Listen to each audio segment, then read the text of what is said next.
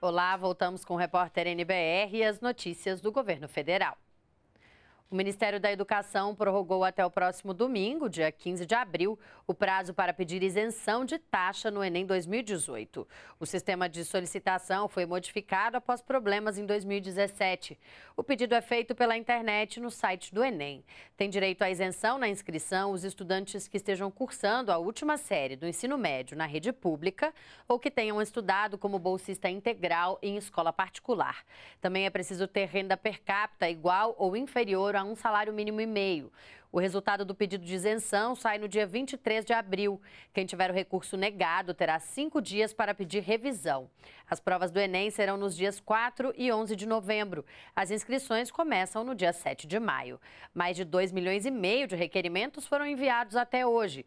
O MEC espera que cerca de 4 milhões de pessoas peçam a isenção da taxa.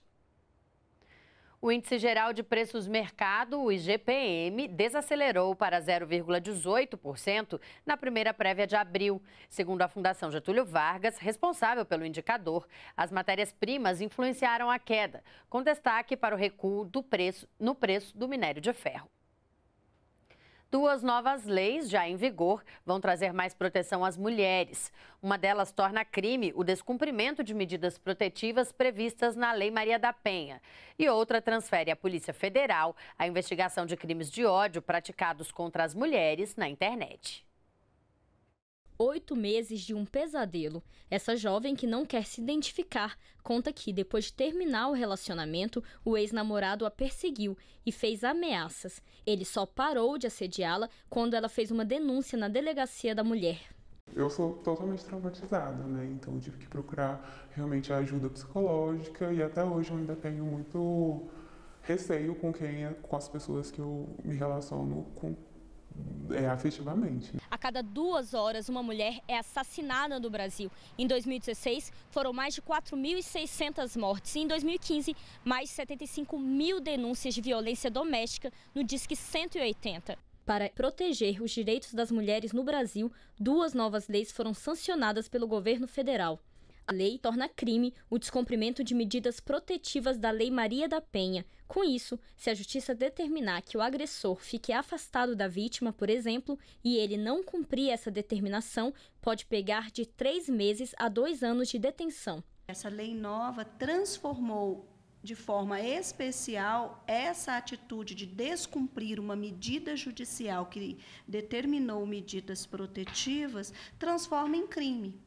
Então, agora, a polícia pode prender em flagrante. E a novidade é que a fiança não pode ser arbitrada na fase policial. A outra lei diz que a propagação na internet de qualquer ofensa, conteúdo de ódio ou aversão às mulheres passa a ser crime investigado pela Polícia Federal. Apesar da nossa legislação ser uma legislação muito avançada, muito avançada, a gente entende que o aperfeiçoamento dessa legislação precisa continuar. E isso que foi feito com esses dois projetos, principalmente com que, como que tipifica crime, o descumprimento das medidas protetivas, e isso servirá, sim, de uma proteção maior para as mulheres que sofrem de violência.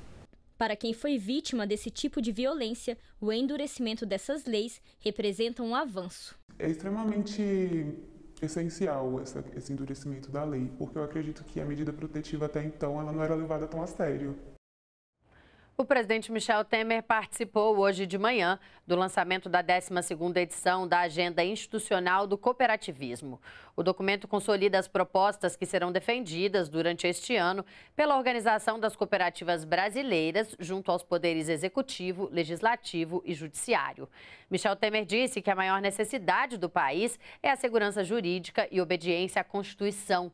O presidente destacou também alguns resultados alcançados pelo governo, especialmente na área econômica.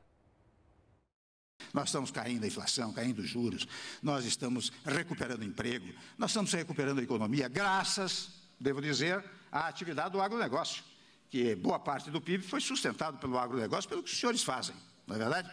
Então nós temos que ser otimistas. Nós temos que dizer, temos dificuldades? Nós temos, outros países têm, mas o Brasil, ah, eu digo assim: o Brasil voltou. E com o apoio dos cooperados e das cooperativas, voltou para ficar e ser, se Deus quiser, uma grande cooperativa. Nós ficamos por aqui. Você pode rever as reportagens no YouTube e toda a nossa programação também está na página da NBR na internet. Continue com a gente na NBR, a TV do Governo Federal.